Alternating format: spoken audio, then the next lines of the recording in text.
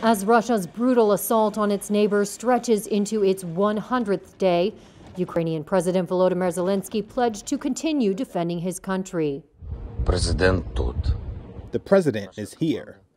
Our team is much bigger. The armed forces of Ukraine are here. And most importantly, our people, the people of our country, are here.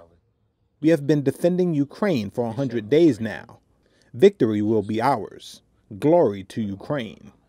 Слава Україні! A war that Western countries believe Russia planned to win within hours has ground on for more than three months, with Moscow having been driven back from the capital, but launching a huge new assault in the east. Ukrainian forces on Friday still held part of the eastern industrial city of Severodonetsk as Russia poured its forces into the battle, aiming to capture the city and control the Luhansk region. Members of Ukraine's Foreign Legion, volunteer fighters from around the world, arrived in the city on Thursday and prepared to fight. 22 year old Zurab said it is a war for Georgians as well. We're going to push Russians back.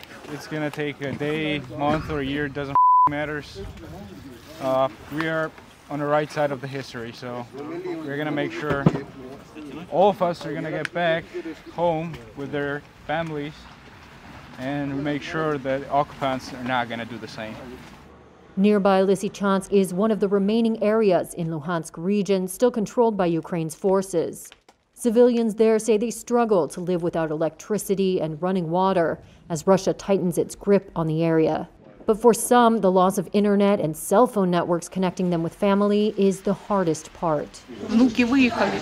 Our grandchildren left.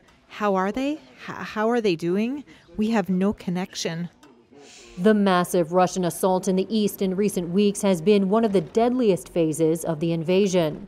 But on Friday, Kiev residents viewing a display of captured Russian weapons in the city center remained hopeful for victory. We uh, are very strong, stronger than we thought. We will certainly win. I am 100% sure.